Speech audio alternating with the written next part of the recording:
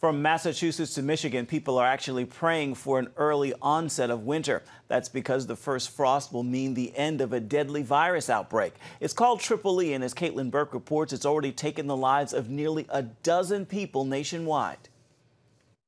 So, Triple E virus is a mosquito borne virus that occurs in the eastern half of the United States. And it's a uh, very rare disease. That's because the specific mosquito that carries Triple E prefers to feed on birds.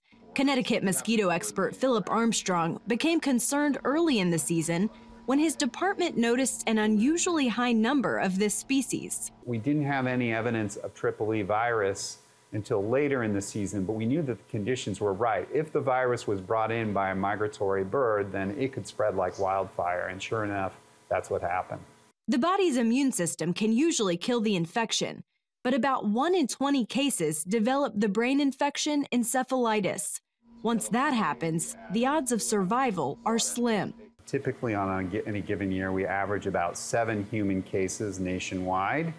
Um, but uh, it's a very severe disease and serious illness. Uh, it kills about a third of uh, those that develop the disease, and of those that survive, many of them suffer from lifelong uh, neurological damage. In Connecticut, three of the four confirmed cases with Triple E have died.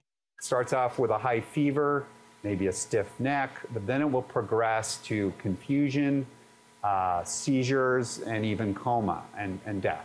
Given the widespread severity, extra precautions are underway from New England to Michigan. While mosquito activity is finally winding down for the season, this year's outbreak won't be eliminated until the first hard frost. Until then, people in affected regions need to avoid mosquito bites. That could mean doing simple measures like covering up, wearing long sleeve pants and shirts and socks and shoes when you're outdoors, uh, particularly in the evening hours when they're most active, and consider wearing a repellent to any exposed skin surfaces as well. And that will do a long way to protecting you and your family. Scientists at the Connecticut Agricultural Experiment Center have actually found that the Triple E virus can survive the winter, even though mosquitoes don't. That means that next summer we could be faced with another Triple E outbreak. Caitlin Burke, CBN News, New Haven.